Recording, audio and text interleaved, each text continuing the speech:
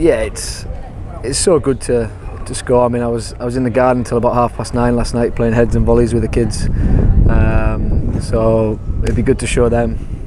Um, but yeah, it's it's nice to score a goal. It's nice to get 65 minutes um, in a difficult conditions. Obviously, sticky pitch, hot. Um, but yeah, good to get through it. To be fair, it's just instinct. Someone just asked me there. I think it's just saw the keeper clear it and just thought I'd have a go. Really. Um, and as it's travelling, I still didn't know it was going in. Um, but yeah, it's it's something you dream about scoring goals like that, pre-season or not. It's it's it's unbelievable when you see it hit hit the back of the net. So yeah, I'm delighted with it.